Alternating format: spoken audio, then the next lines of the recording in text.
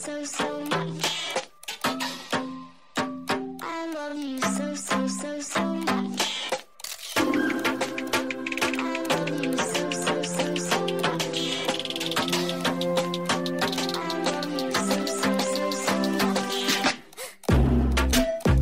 Hello, all you positive heads out there. It's so good to be back with all you beautiful reflections of the one source consciousness that creates and animates all things.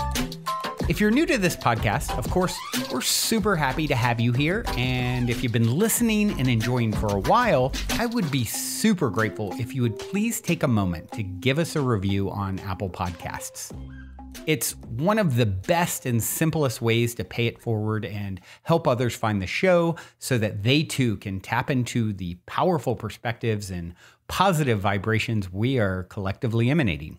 The other unique and magical way to share this show is by sending any friends you think would benefit from listening to this podcast our Game with the Universe link at positivehead.com forward slash game also listed in the show notes, which will serve them up a quote unquote random episode when they click it. Just instruct them before clicking the link to close their eyes for a moment and sincerely ask the universe to queue up the episode that contains the insight and perspectives that they most need to hear at this point in their life journey, and then click to listen to whatever episode is synchronistically served up to them. I have heard time and time again from people about the incredible results they received playing the game. So just tell your friends magical results are guaranteed or their karma back.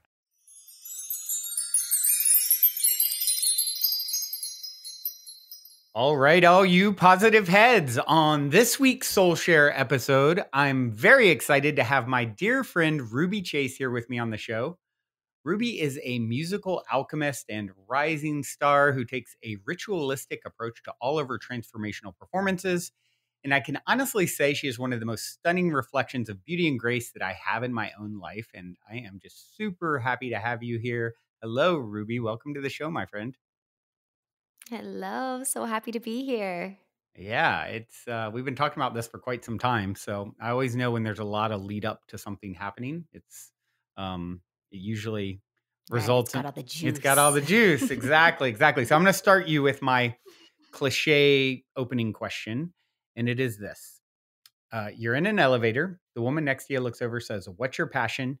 You have ten floors to answer. What do you say? Mm. wow, good question, woman in the elevator. Yeah, I'd say my passion is creating experiences that can blow people's minds and hearts open. Mm, And I like to do that through music. I like to do that through um, events and even as simple as just going deep with someone. I find that when we give that presence, we can allow for the opening of the mind, opening of the heart, and thus the opening of our world. yeah, love that. I love that. Well, if you would, Ruby, share a little bit of your backstory, whatever feels relevant to share. I always like to give listeners context to who the heck they're hearing and how you guys, who is this person? So, yeah, whatever feels relevant to share. Yeah, I I come from Salt Lake City, Utah. Grew up in a really beautiful home and kind of came out the womb very clearly drawn to music, performance, art. It was very obvious. Um, my parents put me into a fine arts preschool because it was just like so clear. Wow.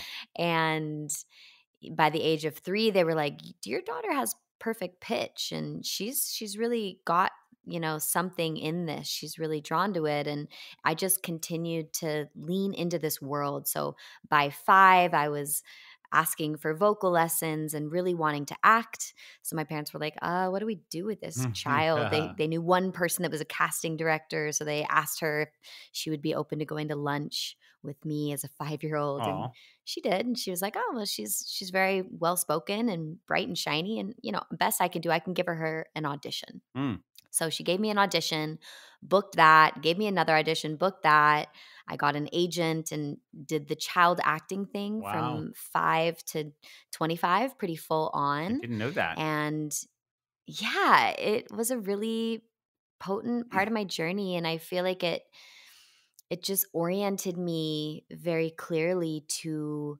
telling stories and the power of stories and I would be cast in these different roles for a movie or a TV show and and I would live into that and Mm. I would experience that character's world and it made me really attuned to the stories that I was telling Yeah. as I as I aged, as I grew older, as I started my my spiritual journey and around 25 I was I was doing music also throughout that time um starting more like I think I wrote my first song at 7 joined a international um choir at the age of eight. We had the Olympics come through Salt Lake City, and I got asked to do a solo in the Olympics. Oh, Olympics wow. in the closing ceremonies. That was really special. And then that kind of spun off into this international choir, and we made a girls' pop band of five artists and toured Japan and made an album and Wow. did that whole world. And um,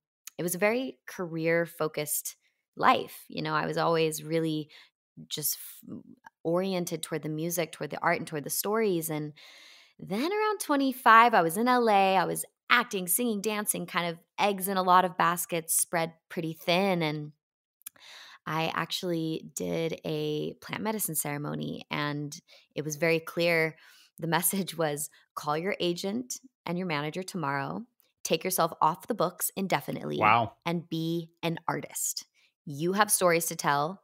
You are not to tell other people's stories. You are not to speak other people's words. You are to tell your story, speak your words, and lean into music full time. Wow. So I did. I called called my teams and was like, "Hey, I need to I need to go and, you know, do some self-discovery and and lean into my artist." Right. So that has been a potent journey of just kind of untangling any other stories other than a story that I desire to live into hmm and painting songs and and narratives that can craft a world that I am excited to hand down to my children and to Mm. my children's children and pay for generations. So it's been a really I would say a journey of unlearning hmm and stripping away the layers of perfectionism and the polishedness that I gained in my youth growing up on camera Yeah. and returning to authenticity and coming back to like okay why are we human what are we doing and where are we going and how can we craft art around that Mm.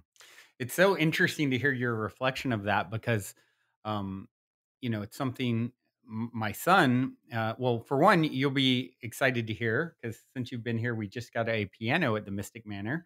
And so he was sitting down playing the piano last night um, and talking about his love for music. And he's never really made music, but, you know, he kind of like is very, very into music. And, but his big passion, you know, he's 24, is has just become in the last few years acting and you know Mhm. he has went full down the path of like he's been in like 25 productions in the last you know year little over a year. He just one of them just got into Cannes and he you know won best indie actor uh in a in a short at the LA Film Awards a few weeks ago and and then he got Oh, he got all the way down to the finals to get into Juilliard uh, at a thousand he was in the final 50 and he just went out there and spent three days on an intensive and realized he didn't make it in as the final 15 or whatever and he was glad because it was a lot of like theater and singing and things that he realized for him like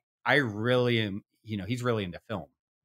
And so yeah. that is like it, it's just interesting to hear the like you know you started there and it's something that's so present in my own life with my my son being like this is my path. And even last night talking about wow i love music so much and playing around on our new piano and my path is fully you know and when he was young we had you know intuitive friend give us all these details about his supposed success as an as a big actor and things and who knows such things but um you know so it's just really interesting to to see how those often those two fields seem to weave in and out of each other, right?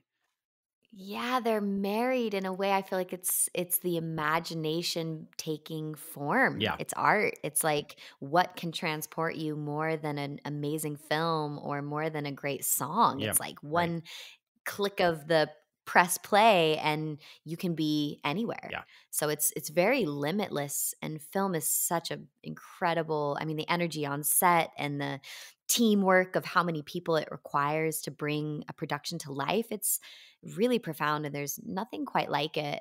Um, and it's actually started to pop back up for me. I did a film this last year with Teddy Ah, yeah, yeah, I saw it that. was a short I haven't watched it yet, but I saw you guys out. did it. I really want to check it out. Yeah, it's really fun. my my commitment in that kind of transition time, I was like, okay, I, I still love acting, but my commitments to myself at the time were, okay, universe, if I am to act, please deliver me the job. Yeah. I don't want to have to audition. Yeah. I don't want to have to rigmarole around it. Mhm. And please allow for it to be stories that I want to tell and characters that I want to live into. So this Yeah. was me playing Lucy that was dreaming awake the lucid universe and Mhm. was the chosen one to bring the great synthesis forward. And I was like, okay, All right. that's a story I'll I can take tell. I'll take that I'll role. get behind that. Yeah. yeah. yeah and it, it, i think it really helps you to realize you know w- with acting that's really what we're all doing right we're playing a role Mhm. right now you're playing the role of ruby chase the singer songwriter performer you know who sounds a certain way and looks a certain way. It's like these avatars are Yeah. us putting on okay i'm going to play this avatar for a lifetime. And um so i think it, it, you know it it all such all the arts they're such spiritual mediums and so reflective of the truth of the situation.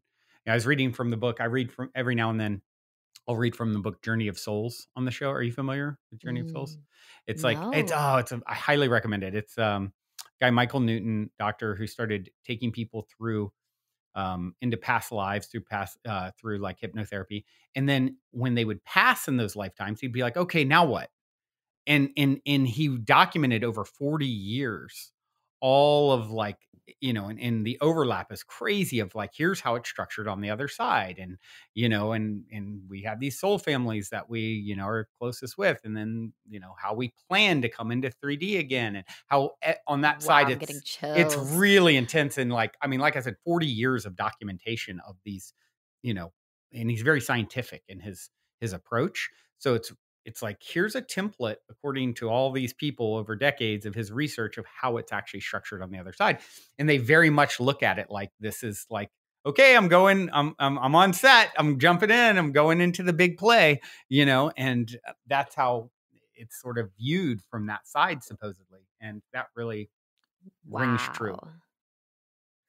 Wow, that really that really hits home and even within this lifetime, I mean, how many deaths and right. rebirths ha- do we go through just in this one avatar in this one body? And I think that especially in the more kind of heady transformational self-help type worlds, hmm we are gaining a comfortability within the ego deaths within the identity renewals that are hmm happening hmm time and time again for us to continue to self actualize because we you know i mean think back to our teenage self think back to your tw- early 20s self even think back 2 3 years ago we're different versions and allowing ourselves the freedom and space to acknowledge those cycles and those chapters is such a vital piece to be able to continue renewing and becoming and growing and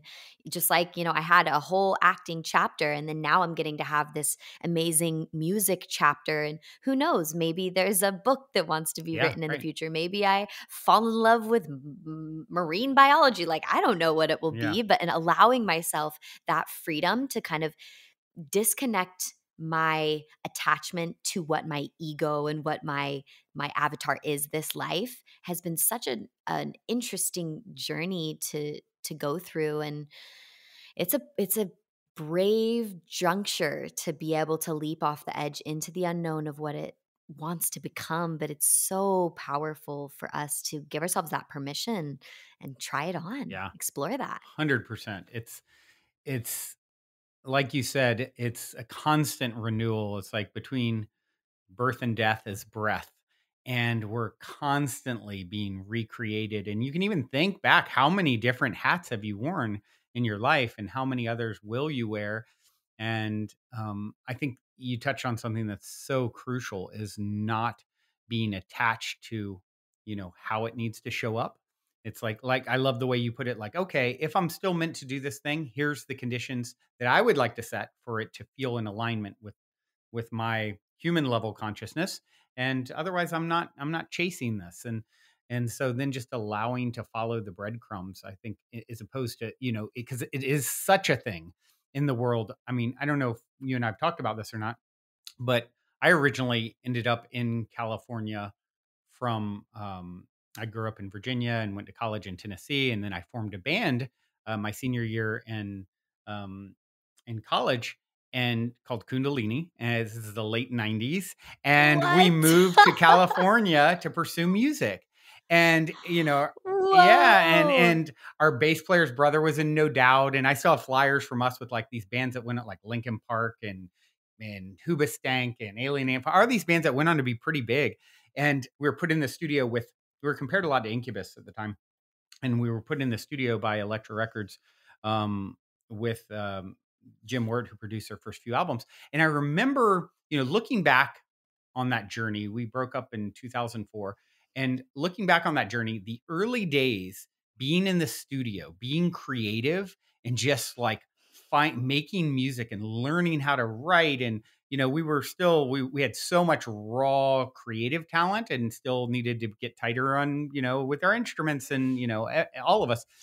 But looking back on the early days when it was all about the fun of creating versus later years it's like we're around all these big bands and our like i said our bass player's brother was in no doubt. We were spending every weekend at his house pretty much it's like they had the biggest song in the world like you know on the fm dial few years prior to, you know so we're around like the pinnacle of success and we're still trying to quote unquote make it and this is of course before I mean, the world has changed so much since then. I mean, MySpace came out a year after we broke up, and you know, and and then you know, Spotify years later, you know, and now it's like it's a, just a very different musical landscape. Back then, it was still like you have to get a major record deal, or you know, that is the path. And um, so, yeah, I, I'd love to hear you speak to that because I, I think for a lot of people, certainly that would tune into this show, they're we are the creator and created rolled into one. So I think our highest excitement is going to be creative in some way, shape, or form because that's what Source does. It creates, and not necessarily music or the arts, like you know we're speaking of here, but you know. Uh, oftentimes right most people have that desire somewhere in them i think and uh, whether they pursue it or not and so yeah i'd just love to hear you speak to getting too caught up on making it you know and and, and Yeah. Oh, it's such a it's such a dance to play with because well, first of all, I did not know that about you. That is so cool. And we definitely need to jam yeah that would be fun knowing it's been a this minute now. yes Got would the piano. yeah yeah yeah totally Yeah, I think that this is such a huge question because it's not even exclusive to just music. You know, there's this constant awareness of our status, of our following, of our hmm social pull that we have with with kind of the social media landscape these days and and it's a it's a trap if we let it if we let ourselves fall into it to create for the need of validation for the need of having some form of success. But then there's a double edge of it there's the other side of you know as an artist today it's not actually enough to just be talented like you need to be being an entrepreneur you need to be present on the social platforms and coming up with interesting concepts to promote your music. And it's just a completely different landscape from the time that you were in that band where and that's the concept I grew up with as well was oh I'm going to get discovered. I'm going to be talented. hmm Someone with power is going to recognize my talent and yep bring me onto their magic carpet ride Right. of fame, right? And that was like how it happens for young pop stars. Right. And I had that concept a lot growing up of like, oh, like I'm just going to be discovered because I'm super talented and and that has definitely um that's been a story I've been rewriting of my own ownership of my own narrative Yeah. and what I want to create for myself and I'm honestly so grateful. Looking back, I'm so grateful that the fame and success didn't come at those early ages. Just who I was at the time and my level of spiritual development and all the things. I think I could have really gotten swept into just the normal, everyday story of okay, they rose to success. They spent their next few years chasing after trying to get another hit, and then they peter out somewhere in the Yep. middle, right? rather than having the time and space to develop myself without being so in front of the world and be able to approach this concept of what I now have my orientation of success is to touch the hearts and minds of those that hear my music and to be able to support in catalyzing their spirit along their path of Mhm. whatever that is for them and writing music that's oriented toward that and crafting my own personal frequency around that intention allows for that to move through the sounds and then when people hear the music they might not know why it's striking a, a cathartic chord in their heart or why they're having different experiences while listening to the music but it's because i'm i'm holding that as my core heart intention and i understand that if i write a hit song or something that penetrates the mainstream media and that that core nucleus of thought that it has the power to transform at a major level. And so with knowing my prayer and my intention for transformation it just feels so much more rooted in the why the why behind the desire for Mhm. that fame or success Yeah. i want to be able to be a beacon i want to be able to support this incredibly huge gen alpha that's coming in right now that 2.8 million new gen alpha are being born every single week Wow. right now it's going to be it's the largest generation in history it's wow. 2010 to 2014 so they are just entering high school right now Wow. the oldest and the youngest are still being born through oh it's 2010 to 2024 so until next year we have these gen alpha coming in and i feel inclined to support in providing some direction and to support in providing a beautiful world narrative to live into with with tenderness and awareness and willingness for the deep work that it requires to grow into a really strong beautiful human that loves themselves and can stand powerfully as we craft solutions toward driving our future in a good way. And that orientation for my desire of success feels just so much more powerful and magical and worthwhile for a life path rather than the amount of money or the amount of fame or how many followers on Instagram I have. Yep. And it's just such a more potent um, place to be coming from. And it gives so much more fuel to the art. Mm. Yeah. Well, you know what comes to mind when you say that is um, hearing Jim Carrey talk about this, where he said, you know, Mm. the the greatest currency there is is the the impact that you have on others, or something to that effect. You know, and so I think Mhm. when you can move into a place where you fully feel that, and it's like, okay, you know, it, it's numbers never end, right? Uh, followers or listeners or any of those things. It's like this podcast. I've been super blessed. It's in the top one percent of podcasts, and it's I have to watch myself not to, you know, but oh, and then the, those there's those are so much bigger, you know, and and then there's the part of me that's like, oh, I don't want to play the game of I've got to do all this social media stuff, and then it feels like I'm like everyone else, and like, ah, screw it, I'm gonna just you know put it out, and whoever listens listens, and you know, and then it's like, well, hold on, well, well you know, why am I? Is there a block there? You know, am I preventing it? For it's it's such a dance, and it, it really is such a great way to really know thyself and get clear on why where is this coming from why where's the block Mhm. coming from where's the chase coming from where's the you know and and when you really puts it in perspective i, I think of um a, a guest that i've had on the show years back uh, charles eisenstein um when i saw him give a talk one time he was he was talking about this concept and he's like look who's more important uh, to the world's healing and the betterment of the world gandhi or gandhi's grandmother who raised him or you know?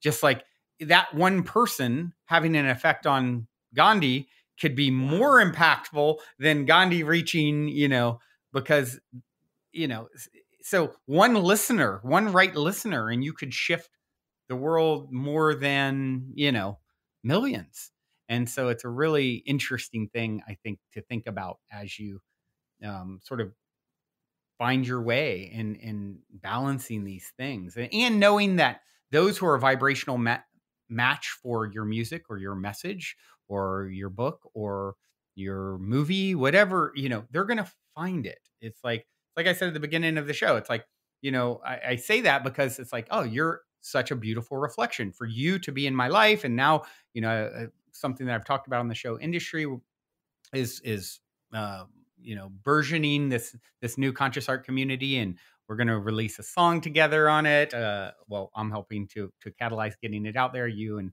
nate and and johnny uh, your song is amazing and we'll talk more about that in a little bit but Mm. um yeah it's just really cool to to to understand like ah you know anyone who's a reflection is going to show up and that's whether it's a, a, a collaborator whether it's a listener whether it's a supporter and that's really all you need to focus on is like who am i meant to connect with i will um, that's where i've landed in my long 100%. journey with this through the band kundalini and the podcast and all the things like um, you know it's just it's where i find my sanity with it All. it's such an important lens to hold of that surrender and kind of taking ownership for the parts of the artist process that are our responsibility and the parts that are not up to us. And that was a huge breakthrough for me. A few years ago, I had this huge stockpile of music, hadn't released anything of my own. I'd featured on some stuff and but I was holding it so Mm. tight to my chest with this concept that I was going to meet someone who was discover me and then Mhm. I would get this big record deal in which case then I would have the budget and the support to release my music. Mhm. And then the world went into quarantine. And I had this song called Patience. Mm. And I was like, oh my gosh, the world needs patience. Mm. That's what we need right now. We need to be patient. And I felt so selfish for hoarding this Mm. song. wow And I was like, I I cannot hold this just in my laptop anymore. Like this needs to be out in the world. It is bigger than me. It is beyond me. This song came through me, but it is Mhm. not for me. It is for whoever it's meant to support. And that catalyst moving that song through and just trusting and leaning into getting that one out opened the floodgates for me and I developed this kind of kind of relationship with my music of of a mother, of a steward and witnessing my role as the mother of these songs is to birth them, to bring them through, to tend to them. What do you need? Each different song has its different needs. Maybe this one needs violin and this one needs some bass and I can call upon people to support, but my role is to steward the process and to support this being in Mm. becoming. And then it gets to a certain point at which I I call this piece of art complete. Even Yeah, art right. technically you can Right. work on forever, right? So we we determine that. And I find in myself there's like a a moment where my system recognizes it. It's like, ah, there's an exhale and it's like, okay, this is the version. This is done. I have no more notes. I'm it's it's ready. And at that point, I ask it again. Okay, what do you need? What is your story? How would you like to be released? And I let this song drive that process. And it's always individual. You know, each track has its different way. Some are, you know, if it's like a dance banger and it wants a lot of promotion, and I'll give it that. And there's been certain songs that I literally didn't even say a word and then just Mm. released it and was like, hey, by the way, this Yeah. song is out. And taking my control off the steering wheel of what happens after the song gets released was such a Mm. surrender for me and and really just alleviated so much weight on my shoulders because at the end of the day I'm not a marketer. I'm I'm not the one that's going to be making it a hit or not, making it successful or not. The thing that's going to do that is people's reception and people's willingness and draw toward that song. And so, yeah, just I, I think for any artists out there that relate to this and are hoarding whatever their art is for the need either for it to be perfect Mhm. or because you don't feel like you can take it to the level it wants to go to, I really encourage letting that down and and getting it to the finish line getting it out there so that that song can live that piece of art can Yeah. live and do what it's here to do it's not here to sit in our gallery by ourselves collecting dust. It's meant to be listened to enjoyed danced to and that is where the magic is and what i find is that's actually my fuel. Getting the music out it's not about how big the song gets or how how how the fame or success works within that track but it's the one individual coming to me and saying hey i was in a dark place and that song Mm. helped me or that is what i put on first thing in the morning and it puts me in the right mood for the rest of my day thank you and just that one person that it touches is worth it. It's worth all the effort. And then it fuels the rest of the process. It fuels the next song, it fuels the next release, and it fuels the artist process in continuing to create. Absolutely. It's um hearing that kind of feedback is the most rewarding thing, you know, like with this show and I, Mhm. you know, receive feedback from people, people leave reviews or write me or whatever. It's like it never gets old, right? To hear that you're, Mhm. you know, whatever you put out in the world has affected someone in that way. And um yeah, you know, and something that you're also speaking to there was how many people hoard their gifts because of fear of will it be good enough? Will it be judged? Will it be reach enough people? Will it all those crazy stories and so often it's coming from a lack mentality. It's like first off perfect is the enemy of good enough and when you think about the idea and the truth of the situation in which you find yourself and that is you are a you know um you are essentially a fractal of source consciousness, the creator and created rolled into one. It is you and you are it. It's like, hold on, you're hoarding what? You you are so infinitely abundant. And it's actually in the releasing and moving of energy that you allow more to come through. It's like it's like money. A lot of times if people have this there's so much blockage around money. It's called currency. It's meant to flow. And so when you're Yep. not allowing your creative energy to flow because of negative self-talk and judgment and silly stories of whatever culture has taught you, you know, it needs to be I was got to put this out and it's got to be the next big hit. It's like or whatever silly story. It's like put it out, put it out, put it out, and there will be more where that came from. And that's that's. Totally. It's gotta be. It's just so much more juicy when we can let that part go because if we're tied to one song or one piece or one thing to be our identity, to be our ticket into our Yeah. life, you know, it's just why cut ourselves short Yeah. in that way? We're infinite. We are creators. And the purpose of an artist is to make art.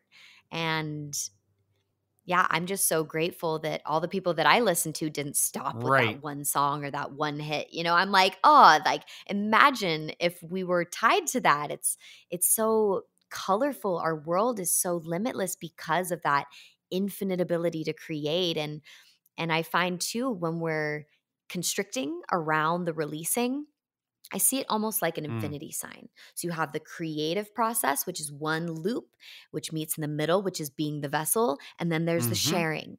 And if you are not in right relation with either side of these ebbs and flows of the pendulum, then there's constriction, there can be tightening, and there can be, I find and I believe that this is the root of a lot of anxiety and Mm. depression is that we're not in the flow of life where we are creating and we are sharing Yeah. our gifts.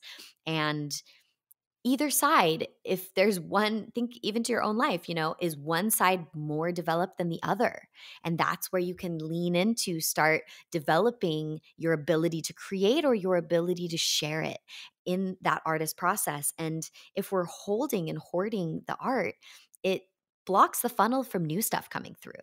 And so the more that we can let it out, get good at that process, it's also an art to get music out. It's a dance to learn the art of distribution and the art of how that actual process works of creating cover artwork and getting that song to the completed form and what is it to take it to a mastering engineer and get it Right. mastered and all these different steps we need practice in that so the first song is your trial run you're going to get good or get at least acquainted with the process and the second and the third and the fourth and whatever that process is it gets more comfortable the weight gets lighter the more you lift it and then you get in a groove where you can create and you can share and you can create and you can share and that is where the magic Yeah, shows up Yeah. I think of um, acclimating our nervous system to any new, you know, growth edge, right? And uh, Mhm. oftentimes it's like for speaking is a good a good example of you know getting or performing in any way. It's like ah, it's so nerve wracking, you know, maybe to people at first, and then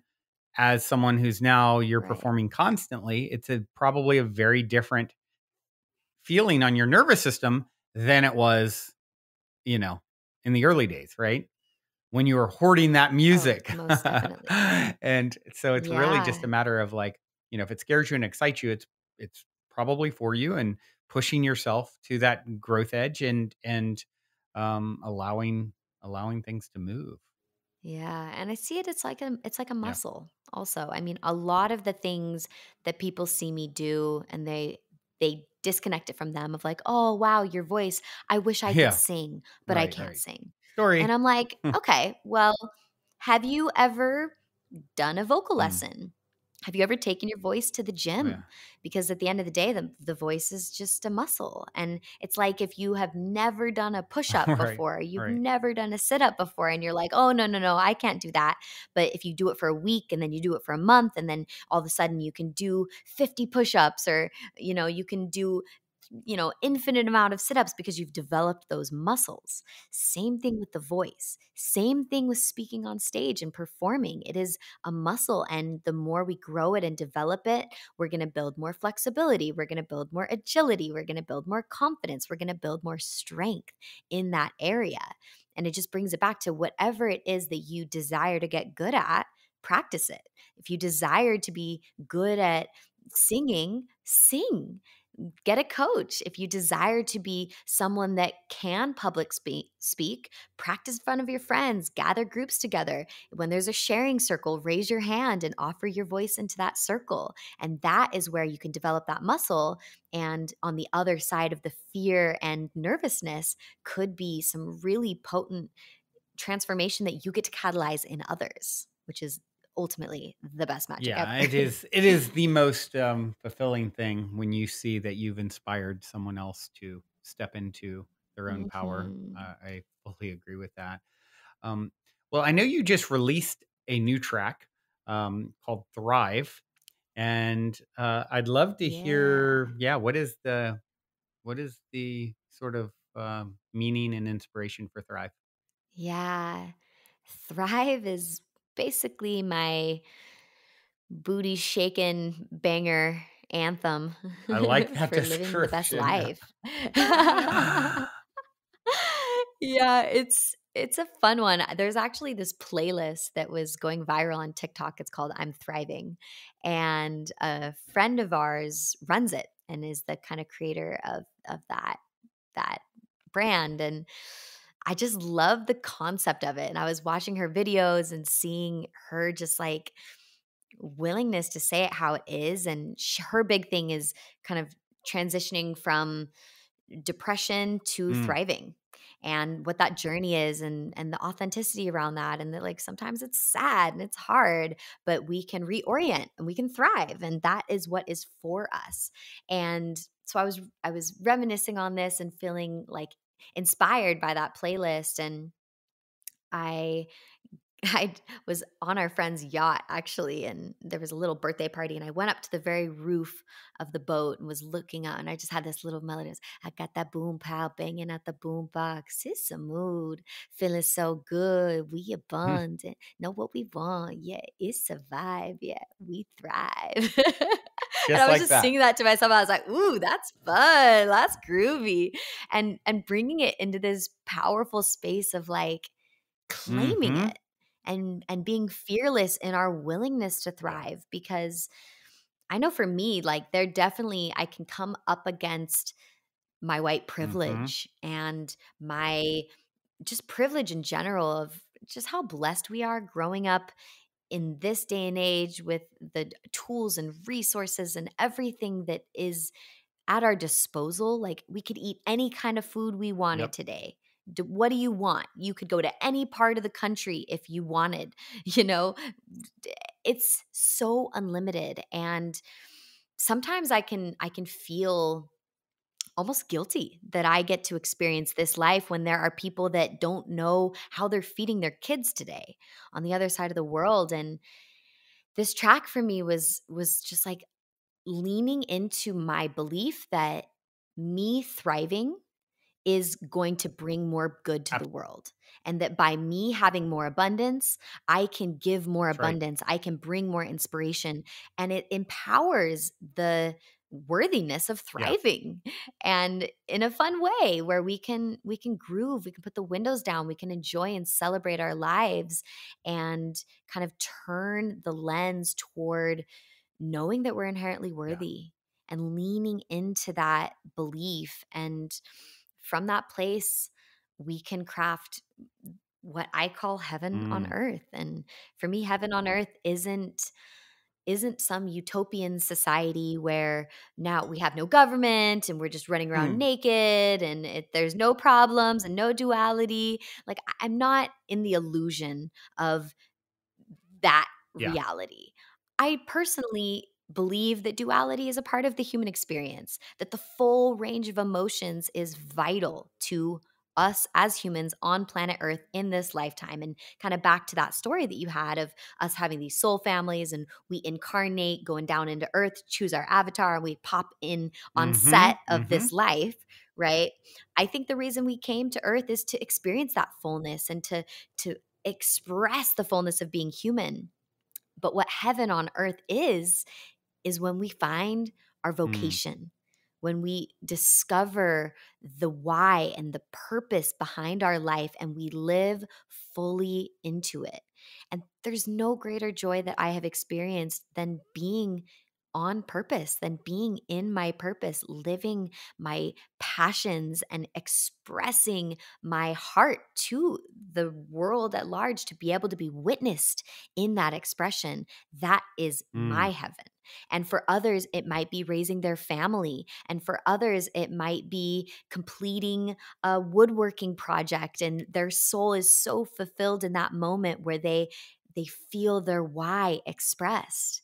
And so if we can be in the nature of thriving and move from surviving to thriving and choose that timeline, then we can inspire that in others. We can live into our purpose, which will then catalyze more people living into Yep. their purpose. And that is what I hold Mm. as heaven. That's Mm. heaven on I earth for love me. that. And, you know, I think of Wayne Dyer, uh, hearing him years ago. You know, he's passed now, of course, but I remember hearing him give a talk once.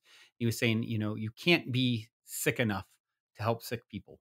You can't be poor enough to help poor Mm. people. It's it's in this way, you know, the privilege that you've had. Um, you know, uh, uh, sounds like a great family. You didn't have a, you were this super bright child Mhm. with all these talents, and you know that's for a reason. And to not to then say, oh my gosh, I should be ashamed. Let me dim that light. It's like, no, how do I use this great gift to spread it to as many others as possible. How do I give them, empower them to do the same things and to have the same level of abundance and to, to be the example of what is possible? It's like, you know, it's back to this this the, the, the reality of the situation that we're one with the source consciousness that creates and animates all things. No matter what avatar uh, you know, sort of trajectory you may uh, be on, and there's varying in many, many, many ways.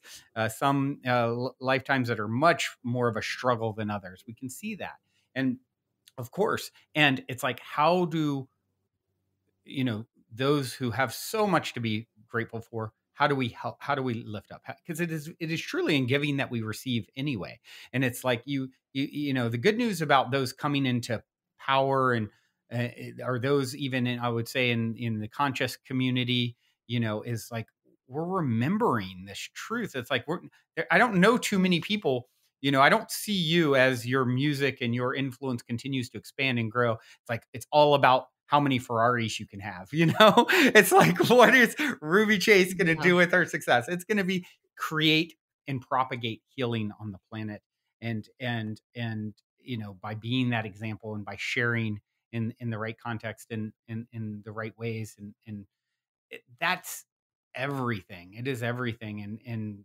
um yeah i'm just whew it's exciting time to really be able to uh, you know I, think it's inevitable that this energy becomes the dominant energy on the planet and we may go through a lot of more chapters to get there but you know that heaven on earth is you know and even when i when i hear of heaven on earth i also think of like the idea that time is an illusion and we are in eternity now. This is eternity. This is it. And this moment is as divine as any other moment ever has been could be or will be i believe and our aim is how do we bring that awareness? How do we see the beauty in what's happening in any given moment? And how do we how do we that that's how i would say we create heaven on earth is through the perspective through the lens of this is it. You're in it. It's happening now. It's not this thing you're going to get to one day. And it's like okay now eternity that starts you know? Well, eternity is and you are and yeah. so therefore it is now.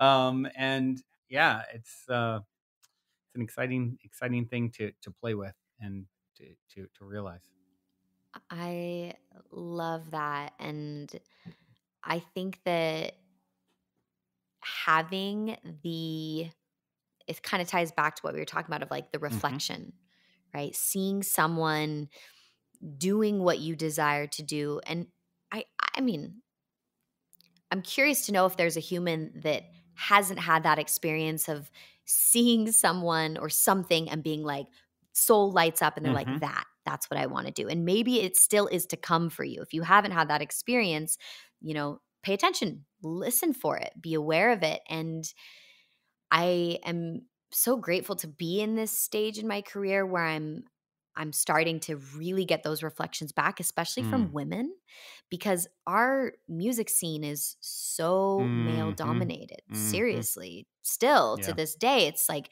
the percentages, it's just so much more, um, so many more men in the space, especially in the community that I'm in, which is the DJ world and the transformational DJ realms. And you look at a lineup, and primarily it is very male Mhm. dominant. And also, I can't really point to too many other artists that are singing over top of their music, as well as Right. DJing, and and even less that are crafting an entire show and a narrative. And it's so cool to now see other artists that are coming Mhm. up and and thanking me for kind of showing me that it was Yeah. possible. And now I'm on seeing them on lineups and I'm seeing them come up in the scene and I'm like, okay, like this is happening. More women are singing over their music. More women are taking ownership of their own Mm. production and and leaning in and it's it's just such a powerful um, mirroring. And then I see them and it inspires me. And it's this never ending Mhm. cycle of inspiration where we're getting to catalyze each other and move each other forward and and bring more of that divine feminine essence into the space of music and onto the stages because especially we say you know there's we're in this chapter of the rise of the feminine and ultimately what does that mean? And the feminine is something that is Yep. within all of us. It's it's the force within every single human male or female that is receptive that is listening that is open that flows. And I just think to how much of a more graceful and beautiful world we will have as the men and the women embrace that ability to flow. It's even a dance for me, you know, I'm I'm very driven and I'm moving and I work in my masculine often as I'm crafting and and and moving my train forward and that ah that release that willingness to surrender and to become and to be moved by life and to be in the the organic flow of it is so beautiful and and I'm really grateful to be able to pave this path for a lot of other women in this Mm, space. yeah, I love that. I love that. And yeah, I agree. Seeing women, especially, uh, you know, producing DJing and it's good. It's always like adds for me an extra element of like, okay, this is extra cool because we're so used to seeing guys, you know, sort of in that position. And it just, so that's Yeah. like, like so many things in life, I think, whenever it's been maybe underplayed or a disadvantage or whatever, then when it actually gets its due, it makes it that much sweeter. Um, and I think that's really a Mhm. big part of the dance in physicality in general. It's like, you know, contrast. It's it's all happening for love and and that requires darkness you know for there to be light there's got to be darkness for there to be uh, you know love there's got to be hate and you know it's sort of that same dance and so it's it's very cool to see people like you and and others stepping into that role and doing it really really well and so it doesn't surprise me at all that you've had a lot of women come up to you and are inspired and i think that's just beginning for you because you're still so early on your journey and you know um i mean you've got Mhm. I guess a good time to maybe talk a little bit about High Vibe Fest coming up and a little bit uh, what we're uh, what's uh, coming up with Industree. I mean, there's so much exciting magic and co-creation ahead. Um, why, why don't you share a little bit about High Vibe Fest? Yeah, we're so stoked. We're coming right up on it. High Vibe Fest is going to be May 4th through May 8th. And super proud to say we have tons of women on that lineup. It's a very um, well balanced lineup, which I'm super grateful to Nate for, who's crafted the lineup. Now, And Nate, let me um, just interject real quick. Is music artist Equanimous Nate Stein, who is also a dear friend and was on the show a while back. Um, if you go search, you know his name, you'll you'll find that episode. And is Ruby's yeah, partner. look up his Eh, music. He's eh, yeah. incredible. Yeah.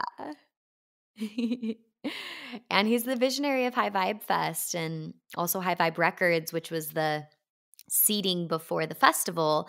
And what High Vibe Fest really provides is a space for these high vibe artists to share their vibe, to share their music, to share their inspiration. And the intention of the festival is for us to experience how high our vibe can be. And that reaches, you know, what we're experiencing on the dance floor, the music we're listening to, and even as deep into the food that we're offering, making sure that everything is organic, that it's sourced from a high vibe place, that every part of the process is contributing to our more beautiful future. And it's going to be so epic. We've got some really exciting surprises coming up um, that are just going to make the experience so magical. And it's at a beautiful property in Cobb, California, Northern California, early May, gorgeous time of year. And yeah, the, for me, I'm most excited about the hmm music hmm for this one because the hand selected artists that are at this festival are literally my favorite artists. Like, this is the type of music that my playlists are filled with. And I go to festivals year round and I hear a lot of good music, but this selection of artists Mm. is just next level. And then on top of that, we've got three different workshop stages going through the day. Brandon's actually going to be doing a Two, workshop, actually. Conscious Yeah. Conversations.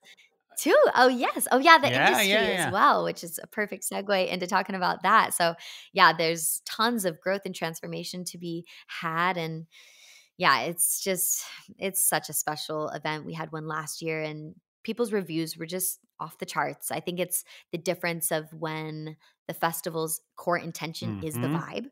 That really Yeah, sets the yeah. tone. and then everything from there is just like, how could you go wrong when the vibe is what's set? Right, right. And and Nate as the founder of High Vibe Records and the festival and you know, obviously your partner, you must like his vibe. Um but I definitely like he's his vibe. such a heart-centered incredible human and um yeah, it's it, was really cool to come last year and see the first the first uh, High Vibe Fest and it sounds like it's only grown and expanded and and to be able to contribute this year something that we do here at the mystic manor me and um, karen uh, my partner uh, do these conscious conversation circles and they're always just so nourishing and i just love having the interactivity with people and hearing people share uh, whatever you know downloads and wisdom and and things have come up for them and or you know people sharing things that they want to ask for collective guidance and input on and it's just it's such a speaking of being in receptive mode and flow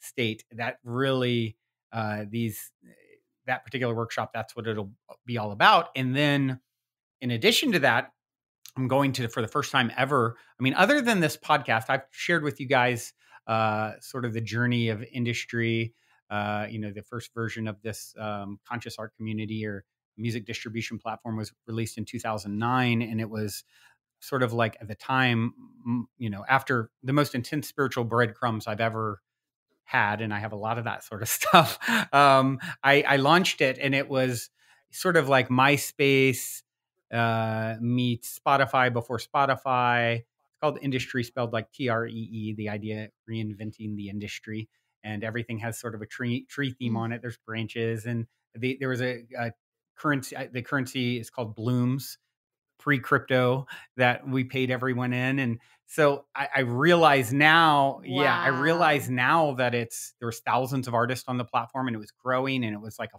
full like i said myspace with its own monetary payout system and it, it was pretty robust uh, what i had built and and then hit some personal challenge in my life at the time and um, my brother was my business partner. His partner unfortunately committed suicide, and so we ended up putting the whole thing Oh. on ice uh, and saying, "Okay, I'm going to come back to Industree. I need to, you know, so the investor that I had pulled out their money, and just, you know, the the challenges came, and so I said, "Okay, I'm going to put this on ice. I am able to manifest the money to do this right, and I'm going to do that, and then come back to it." And that's when I uh, ended up launching, getting led to launch this travel company that went on to be an Inc. fastest growing private company and 100 plus employees. It was like a tiger by the tail, and we are doing 10 million a year in revenue. And that was such a tiger by the tail. I didn't ever go back to Industree until you know a year and a half or so ago. I started exploring using blockchain technology. How could we bring this back? And you know, is this really what it's supposed to be? The you know hero's journey tale of bringing this project that I had had such crazy spiritual guidance to do all those years back, and then it that guidance came back again in very dramatic fashion, and here we are. And the first uh, you know song that we're going to release is yours, Ruby, uh, along with Nate Equanimous and Johnny June. Such an incredible track. It's the perfect track, and then um, one other track with uh, my good friend D. Menace. and so we're going to do that as a as a sort of a giveaway to start building the community um, you know, beginning late summer uh, kind of time frame. You guys will be hearing more about that. Um, and if you want to hear the whole inspired Industree synchronicity story, I, I did talk about it on um, episode 1532. If you go back, you can you can check that out and, and listen to it. And I'll put a link to uh, the, the website where I have a little. Hey, give us your name if you're interested when this gets going. And here's, by the way, the podcast where you can hear about it. So that's it. Oh, that's so cool. I I was definitely I was about to ask you that, so I'm yeah, yeah, yeah. that in there. Like, That you- that URL is stories." indus- it's just Industree i n d u s t r dot e e. Uh, that's the website, and you'll see just a you know name, email. We'll let you know when things get going. And here's the story. The story is a trip, though, Ruby. If you ever get a chance to listen to it, I think I've told Nate the whole thing before. I don't think I've told you that I recall, but uh, it No, I haven't. I definitely yeah, it hear. involves a supposed time traveler and really trippy stuff.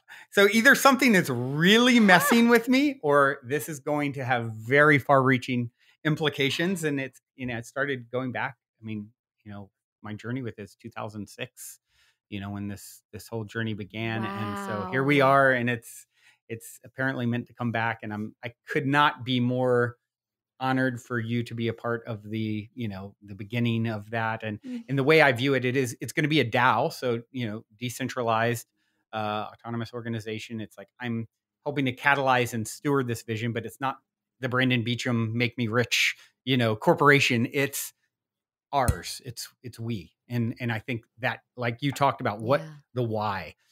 You know, I've been going since 2000 my first um burn was 2005. And since that and then Kundalini my band, I mean we had, you know, we would have Alex Grey artwork playing behind us. This is 1999, 2000. People are like and I'm talking about spiritual stuff and we would paint on the lead singer. I was the MC, and my uh, best friend was a singer. So we're kind of like the Beastie Boys meet Incubus, meets 311, meets the Police kind of vibe. And we would paint sh- Oh chakras on his. He's like six foot four, so we'd paint chakras all the way going up on him.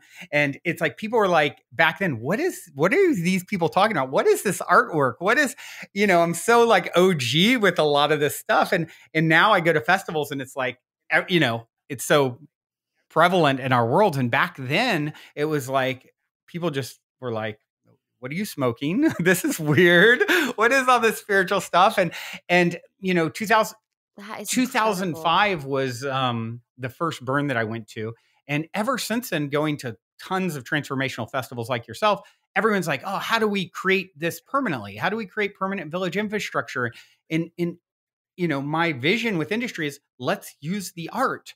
Let's, you know, all the art that makes up this incredible musicians, these incredible painters, incredible speakers and authors, and let's create a, a, a DAO where we come together with joint, you know, decision making and power, and let's let's let's use the art to fuel permanent village infrastructure and decide collectively how we the funds that are generated how we direct those. Okay let's throw an event. Oh let's buy this piece of land. Oh let's let's you know i i ultimate vision uh, i see as like a permanent festival disneyland right where we have it's it's always set up and we're bringing people through having transformational experiences and it's and as opposed to you you can relate you know being so tapped into this industry i mean this uh, scene and community like myself it's like it can sometimes feel like a bubble right? You're seeing the same people. I mean it is growing and it's like how do we reach people outside of our container reach even more people with this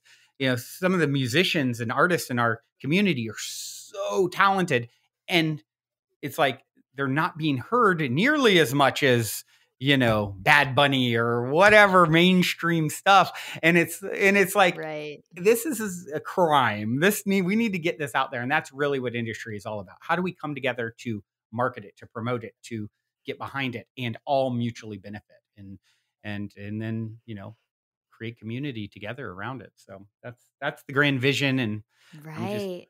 Oh my gosh, I love it.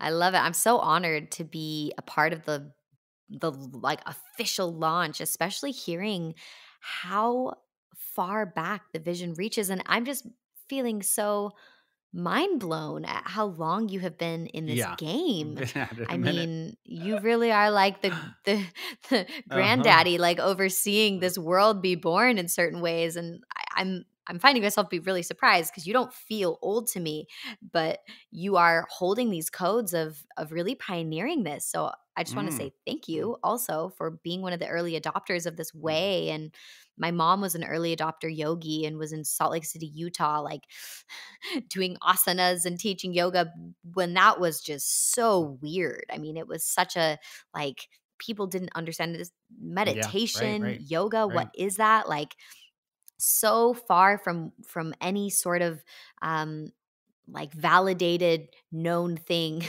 that was good for you. And nowadays it's like there's a yoga studio on every corner, right you know, and it's so beautiful to just remember that this is growing and we're still young and we're still this we are a bubble right now. The whole transformational community and the festival scene, it's a tiny, tiny percentage of the world. But what would happen if we could bring that synchronicity and magic that we can experience at these events to a greater audience? And could that solve the crisis of loneliness that we're experiencing in our day and age and just this age of depression that we're we're seeing so much so many youth especially that are faced with severe anxiety and depression and they're comparing themselves and they're on their phones all day and what if we could bring the magic and the limitlessness of what we experience at a festival to those people through the art? I think it's an incredible question and such a worthwhile journey. And I feel really excited to be able to witness it and grow with it and grow with the movement and be a part of history in this way. Well, you are definitely poised to do that, and thank you for saying all that. Uh, it's it's exciting, definitely. It, it's been a long view in a lot of ways, and you know, I'm 48, and I feel like I'm 21, and you know, it's funny because you talked about the magic that's created at festivals. It's like one of them, you know, I feel like when we come together, we create a container. One of the most magical um, experiences I've had was at a transformational festival. I feel like we we disrupt the field in a good way together, and it allows for magic to come in. And I had this intense channeling where this person came through, and they're like, "You are the soul of the eternal child, and everyone you touch will help transform." And just went into this very intense stuff for me. And it's like that's what's exciting for me is like being the cutting edge of like here's what it means to age. Here's what it means like compared to what my father was at my. It's like you know 50 years from now, I literally think I could look and feel more youthful than I do now with tech, understanding of technology, health, um, you know, spirituality. You take all the things that are converging right now, and all you know, old ideas are out the window. Of you know, we they're talking about like we're totally. a few years from you know reaching escape velocity, which is you know who is it? Kurzweil, I think, is saying in the next few years we'll hit escape velocity, which means our technology is surpassing our aging, and therefore we could all potentially live to be limitless aside from an accident, you know, and that's happening now. Like, yeah, wow. and you start understanding and, and living with that feeling of like, oh, this isn't the end. I'm not winding down, I'm just beginning. And I get to be the example, the cutting edge of that. And we all do, you know, and um, and that feels mm very empowering. And um, so I'm just, yeah, I'm super grateful to be that Industree is meant to be a hero's journey tale and has made it very clear that it wants another shot at uh, yeah, at it's making, making its, its comeback. comeback. And, it's so and exciting. the song that you've you know co-written and produced is incredible. You guys are going to absolutely love it. I'm so excited to share. And uh, yeah, like I said, if you go to Industree the website. I'll put the link in the show notes as well, and you can kind of uh, give us your name and email, and we'll let you know as things start coming out. And then also, where uh, where is the best place for them to get tickets for High Vibe Fest? I hope that if you're able to come, uh, me and Ruby would both love to hang out with you because we'll both be there, and uh, that would be awesome to see a bunch of heads at the event.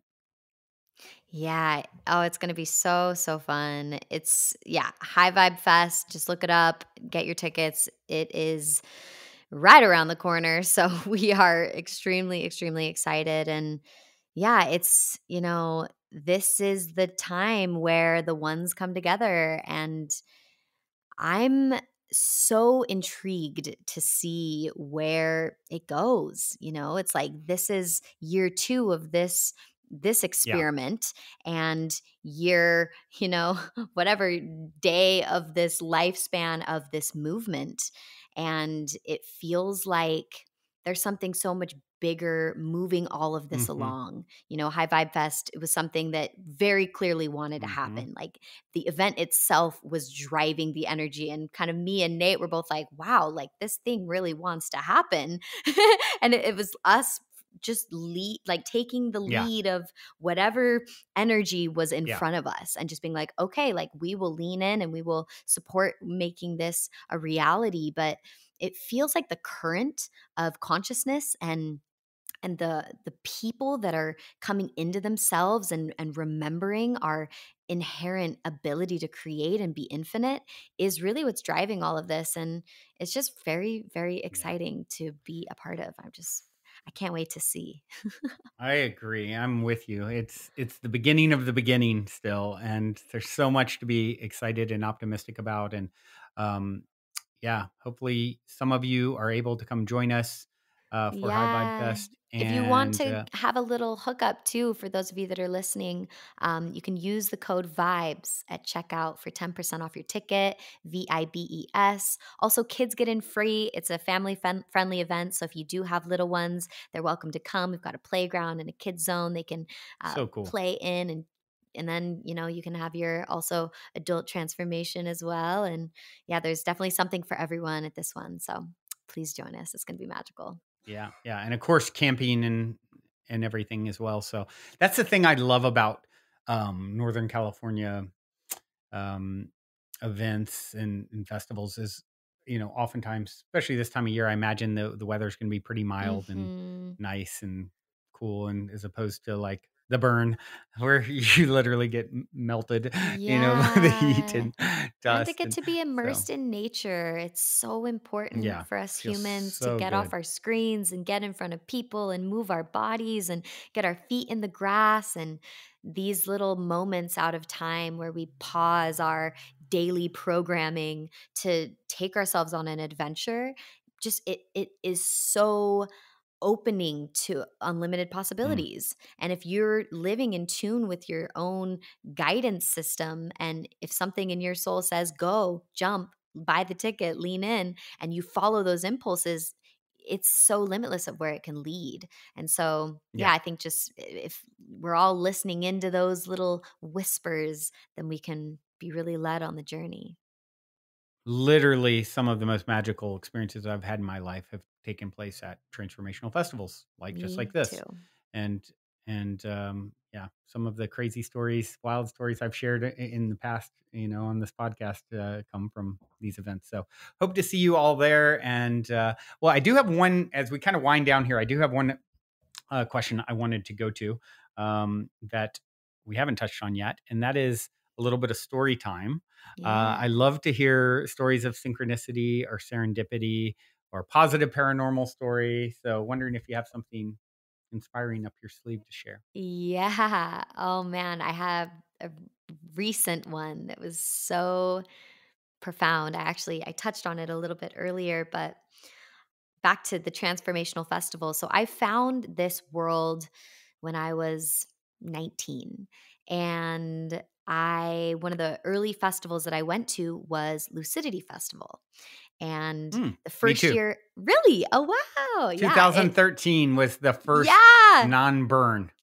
Really? Was Yes. it the same year Yes, for, year for you? 2013. Yep. No way. We were there together. S That is we were there together, and that was a huge catalyst for me, and I went back again and again each year Me too. telling the story. This is the first year I didn't meet. This is the first year I haven't went other than the Ah, COVID years since 2013. oh my gosh. Yeah, it's a it's a make it this year. potent one, and I think it's something about the size too, like why I love High Vibe Fest, especially right now. It's like we're at that size where you leave the weekend kind of meeting everybody, and you Yep. you it's like small enough that you get to really Yep. go deep and get intimate with the people that are there. That's something that's so Yep. nice about Lucidity. They've kept it nice and tight, and so the the thing about lucidity that really sets it apart is it is following a narrative. So every year Yep. they have a story that's being told and there's this hero's journey that the event is is catalyzing and they have these immersive characters and every year they do a show and they've got this story that's been telling itself throughout time and I always went through media. The first year I was filming a show called Be Human, which now is a podcast with Roxanne Ruby. You can check it out, Be Human podcast. Um, and but at that time, we just had a camera. and We were asking people, "What does it mean to be human?" And we went around and asked everyone. The next year, I went as social media, and I was the dreamer who was following the event around and going live. And so I was getting to see this world and learn the narrative. And I actually have a video on my phone from 2018 of Jonah, who's one of the main guys that creates the event, Mhm. and he's one of the main Yeah, he's been on the podcast actually. Okay, yeah. So Jonah's Yeah. epic.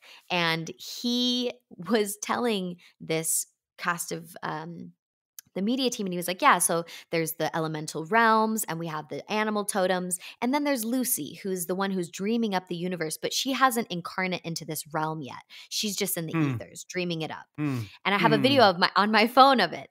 Last year, I get a call from Teddy Saunders and he's like, "Hey, I'm filming this I'm filming this movie with Lucidity and I put a casting out to, you know, Actors Access and I've got a 1000 submissions, but I think you are her." And I'm like, Mm. huh, okay, tell me more. and this is like a year after my acting sabbatical, like made my Mhm. declarations, gave my my boundaries. And he's like, it would be a story of the great synthesis. And Lucy is the one dreaming this world awake. And he tells me the story. And I'm just like feeling pretty mind blown at this point. And I'm like, okay, well, I think that I I am her in ways that I didn't even realize.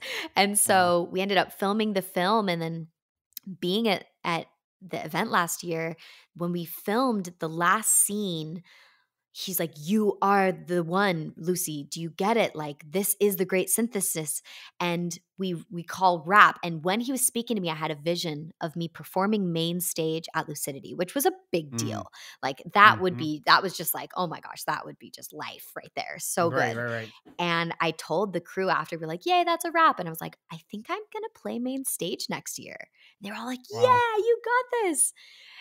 Fast forward to this year coming up. I'm, you know, we're, what was it? In the winter sometime. And I had applied to the festival and I'm kind of twiddling my fingers and like hoping I get picked. And Nate was like, "You should reach out. You should reach out direct to the people. And I was like nervous and had my kind of like hesitations around it. But finally, I, I mustered up my strength and my confidence and I sent an email to the head booker. And he emails me back within the hour. Wow, Ruby, you have really good timing. I have one slot left that I have to fill with a woman specifically, and I want it to be you. Like this feels so synchronistic. So I get this slot Wow. 4:30 at Sunday on the Lucid stage, the main stage, and got to live out that dream. And at the event this year, it was so profound to touch in with friends that if they've seen me for the last decade growing Yeah, up in this right. community and being the little girl that was excited and asking what it was to be human and singing in the open mic and and just kind of being catalyzed from this environment Wow. being awakened in this world and they were like ruby you really are lucy like Yeah. you Wow. are that Obviously. archetype and Yeah. and it's and then i had the realization too of like you know we are all lucy like we are all the ones dreaming awake this lucid universe Mhm. that is our own world and to get to have that very obvious reflection from this environment that had raised me was so moving and so powerful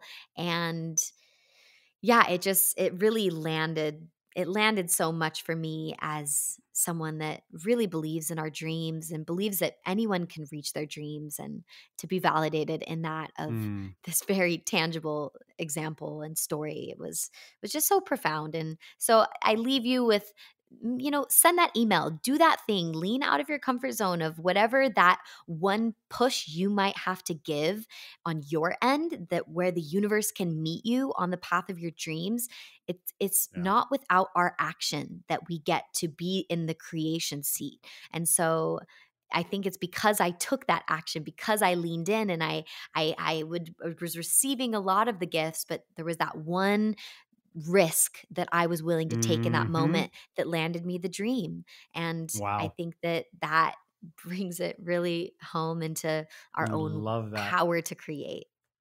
I love that story. Wow. so So cool. magic. I, I'm only the only disappointment I have around it is the year I choose not I to go know. to Lucidity.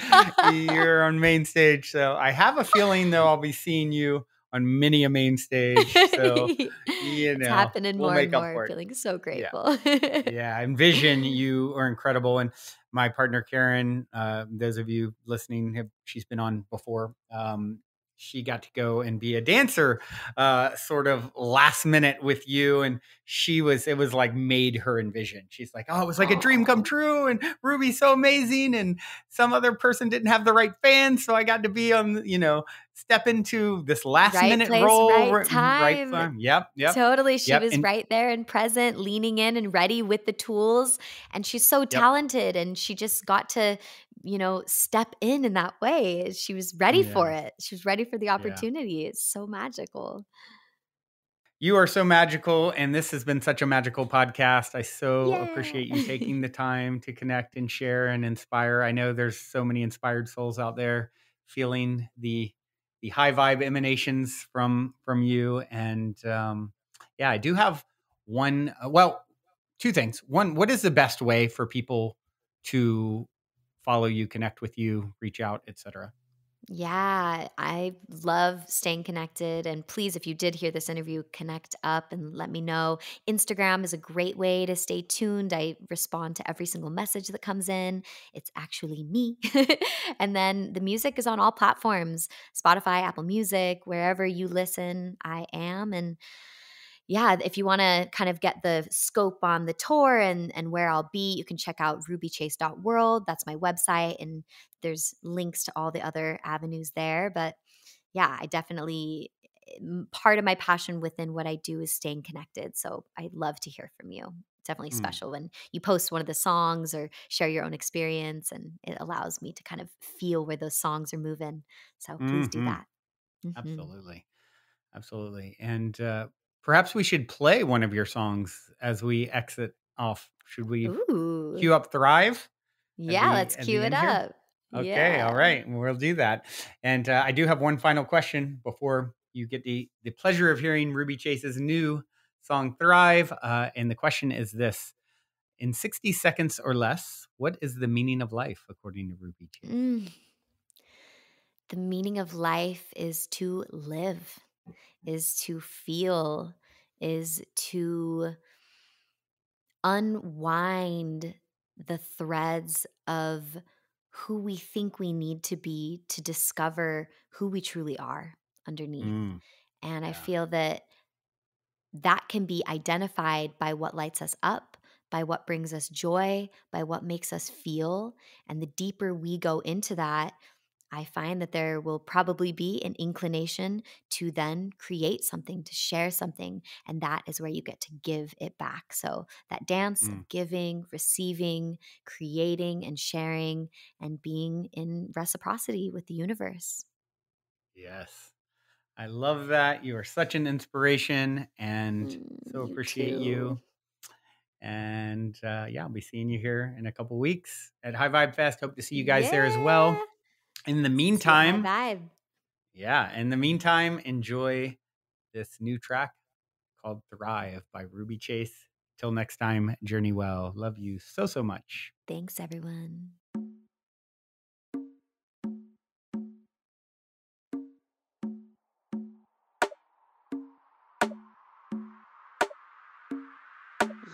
I got that boom pow banging out that boom box. It's a mood, feeling so good. We abundant, know what we want. Yeah, it's a vibe. Yeah, we thrive.